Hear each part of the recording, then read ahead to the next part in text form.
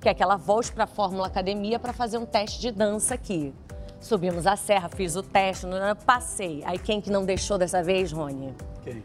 Meu pai. Porque eu tinha 13 anos e ele achou que a minha mãe iria aos shows dos finais de semana.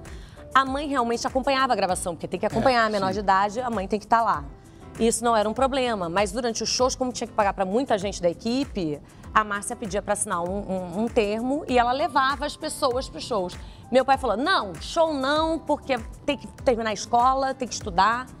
Então não vai dar, não vai fazer. Aí eu fiquei louca, fiz greve de fome, bati porta, fiquei sem falar com meu pai, fiquei revoltada. Era o meu, era o meu sonho, fiz um drama, pisciana, atriz, já nem sabia.